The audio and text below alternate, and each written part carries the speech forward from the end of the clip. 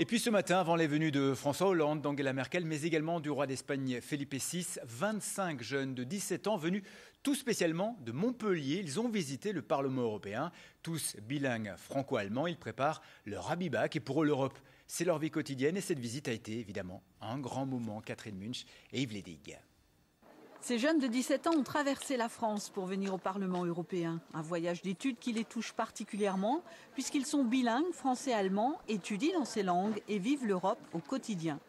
Leurs professeurs ont décroché une rencontre avec une députée de leur région, l'occasion d'un question-réponse sans détour.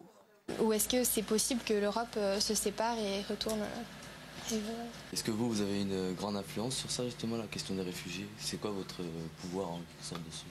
Est-ce que moi j'ai du pouvoir C'est une vraie question. Euh. S'ils ne se saisissent pas de l'Union européenne, et ce sont eux qui vont la construire plus tard, donc c'est pour ça que c'est important de leur donner, de les aider à, à la découvrir et à avoir cette fibre européenne. Après un petit rappel des fondamentaux, 28 pays membres, 751 députés, une photo sous les drapeaux vient marquer la journée et les esprits.